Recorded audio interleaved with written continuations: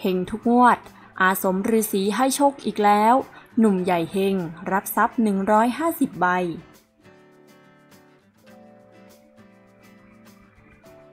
ล่าสุดภายในอาสมฤาษีเนน ริมถนนบางประอิน บางบัวทอง ตำบลโพแตงอำเภอบางไทรจังหวัดพระนครศรีอยุธยา ชาวบ้านฮือฮาหลังมีผู้โชคดี ถูกลอตเตอรี่นับร้อยใบ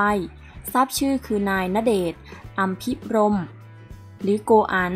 ประธานชมรมเปิดบ้านพระเครื่อง ถูกหวยรางวัลที่ 5 ถึง 10 ใบ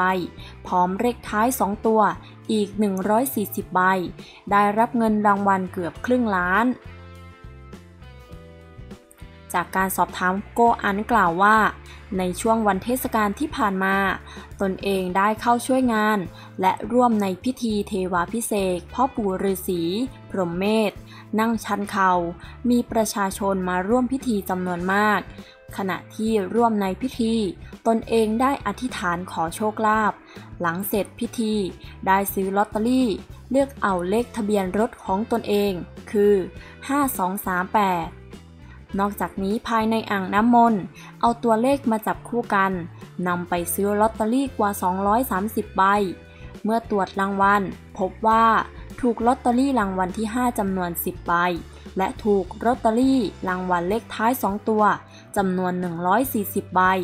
และไม่มีถูกรางวัลเลยจำนวน 90 ใบ และตนเองยังตั้งใจจะนำเงินส่วนหนึ่ง